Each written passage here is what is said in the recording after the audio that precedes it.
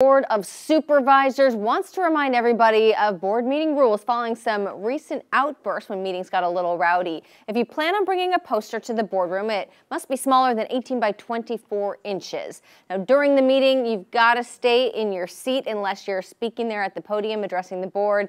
And if you don't comply with the rules, the chair says uh, he's allowed to remove anybody who's disrupting or disturbing or being disorderly. If you want to check out all of the rules before the next Board of Supervisors meeting, go to our website, click on the News tab, and then News Links.